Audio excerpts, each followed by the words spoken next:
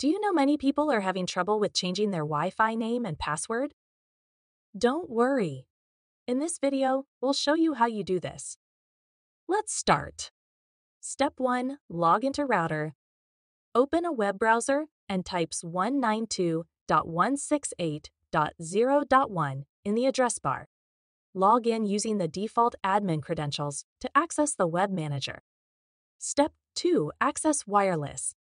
Navigate to wireless 2.4Gs or 5GZ in the menu to access network settings. Step 3 Modify SSID.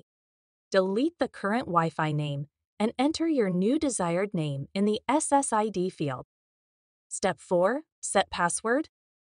Enter a new secure password in the Wi Fi security field. Use a combination of letters, numbers, and symbols. Step 5 Broadcast SID. Ensure the broadcast network name, SSID's option, is selected to make your network visible. Step 6 Apply changes. Click Apply to save changes. Reconnect devices using the new name and password. Now, you should be able to change your Wi Fi name and password successfully on your Arris SURFboard Bach 10. Still need help? Visit our website for the complete manual. There you will also find questions and answers from other Arris users. Did you find this video helpful? By subscribing, you help us continue to answer users' questions. So, subscribe to our channel. Thanks for watching, and see you in the next video.